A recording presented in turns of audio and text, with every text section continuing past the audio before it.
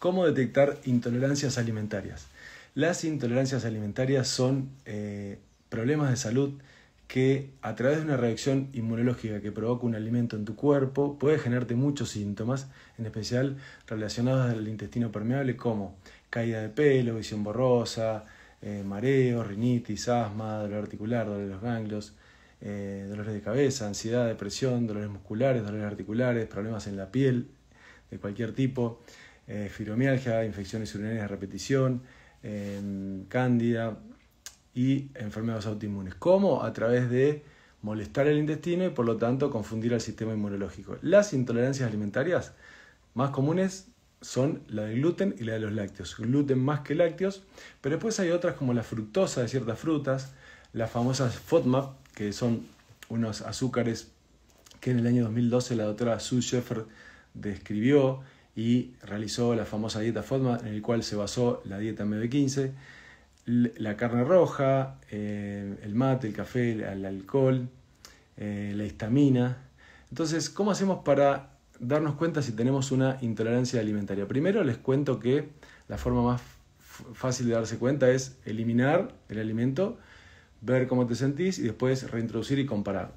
El tema es que a veces no es fácil porque no hay ninguna dieta disponible en el mercado hasta que apareció en la nuestra, la MDB15, que es la primera dieta disponible en el mercado para saber si tenés intolerancias alimentarias. Entonces, la forma más fácil de darse cuenta es una dieta de eliminación, que ya hace muchos años la medicina funcional de Estados Unidos viene eh, traccionando con mucha fuerza para difundir en el mundo, ya que una dieta de eliminación puede ser algo transformador para la vida de muchas personas dada la alta frecuencia y la alta prevalencia de las intolerancias alimentarias. Otra forma de darse cuenta es a través de test de sangre, que no funcionan, no estoy de acuerdo con los test de sangre.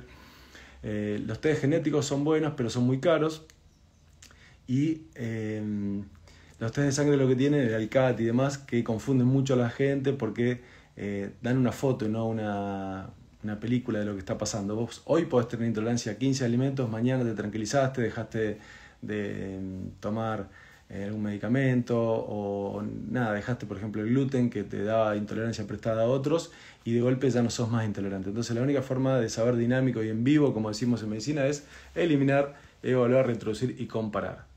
Entonces, los síntomas son los que les dije, ¿Por qué es tan difícil darse cuenta si uno tiene una intolerancia alimentaria? Porque la medicina no está muy atenta, porque la intolerancia más común que la del gluten no tiene todavía un marcador de laboratorio para diagnosticarla. Entonces hoy la gente, los 10 millones de argentinos que viven por la vida con intolerancias alimentarias de médico en médico, de medicamento en medicamento, desgraciadamente la única forma que tienen, la única oportunidad de darse cuenta si tienen intolerancias es por sus propios medios o cuando descubren un programa como el nuestro.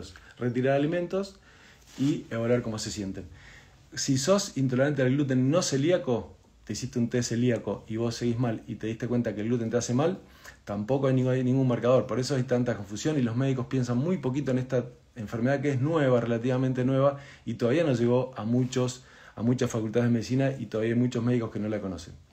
Así que, bueno, espero les haya servido. Vamos a pasar a, un poquito a contarles que en este pequeño espacio podemos charlar, ustedes me pueden contar cómo se sienten, me pueden usar eh, como mm, para orientarlos en su patología, en especial si tenés muchos síntomas de salud y hace mucho que estás dando vueltas de médico en médico, tal vez quieras pasar al vivo conmigo, decirme yo Facu, y eh, te subo, me contás tus problemas y te oriento con nuestro método. Nuestro método funciona para muchas, muchas enfermedades crónicas.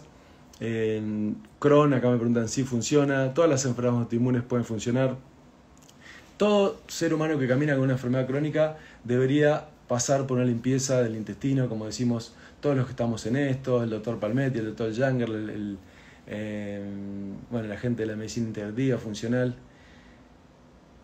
¿Algo más para complementar el magnesio? Me preguntan. No, el magnesio es espectacular. 400 miligramos a la noche de óxido pueden cambiarte la vida si estás en ese 50% de beneficios. ¿Cómo puedo acceder a la M15? Entrás por nuestra página mb15.com y ahí te anotás. Tenés el acceso a un grupo, a una persona que te va guiando, 15 días.